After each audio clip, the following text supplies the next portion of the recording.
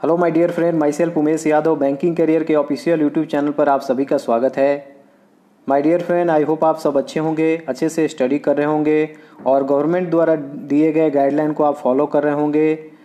Dear friend इस video में कुछ इंपॉर्टेंट जो न्यूज़ है, मैं आपको शेयर करना चाहता हूँ कि आपका SBI क्लर्क का रिज़ल्ट कब तक आएगा। आप सबको पता है कि 14 अप्रैल तक कंट्री पूरी तरह से लॉकडाउन है। और जो कोविड नाइन्टीन का जो सिचुएशन है, वो काफ़ी अभी जो फ़िलहाल में अभी जो फ़ेज़ है, वो काफ़ी डेंजरस फ़ेज़ में है। आपने पूरे वर्ल्ड में और इंडिया में भी देखा होगा, इंडिया में भी कैसे सिचुएशन धीरे धीरे काफ़ी पेनिक होते जा रहा है। तो देखिए फ्रेंड 24 सॉरी 14 अप्रैल तक आपका कंट्री पूरी तरह से लॉकडाउन है। आपका रिज़ल्ट कब तक आएगा, इसके बारे में कुछ इंपॉर्टेंट बातें मैं आपको बताना चाहता हूँ। देखिए एसबीआई का जो अभी भी जो ऑपरेशन है, वो पूरी तरह से बंद नहीं हुआ है। बैंकिंग इंडस्ट्री अभी पूरी तरह से ऑपरेशन कर रही है।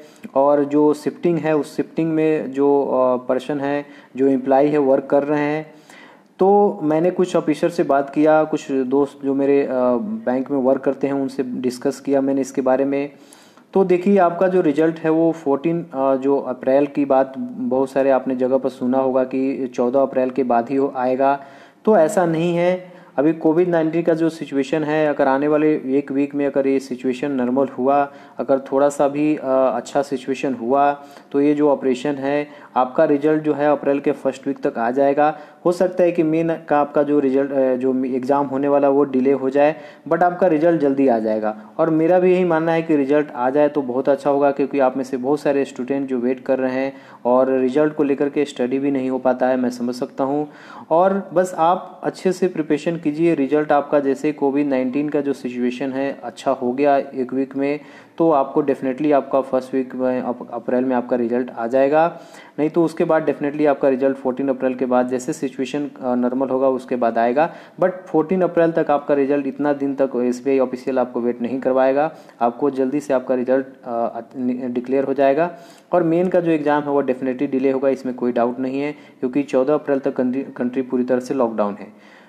तो आप अच्छे से प्रिपरेशन कीजिए और इन दिनों में जो भी आपके पास टाइम मिल रहा है, आप जीए का जो टॉपिक है मैथ रीजनिंग का टॉपिक है, उसको अच्छे से प्रिपरेशन कीजिए क्योंकि अभी देखिए बीच में काफ़ी गैप मिल गई तो कंपटीशन आपको इसमें ज़्यादा देखने को मिलेगा क्योंकि जो भी स्टूडेंट अभी न्यू न्यू प्रिपरेशन स्टार्ट किए, उनके पास भी काफ़ी अच्छा टाइम मिल गया तो वो अच्छा कर पाएँगे। तो आप भी अच्छा कीजिए, इस सब बारे में आप बिल्कुल मत सोचिए, जैसे नॉर्मल सिचुएशन होगा, वैसे आपका रिज़ल्ट डेफिनेटली आ जाएगा।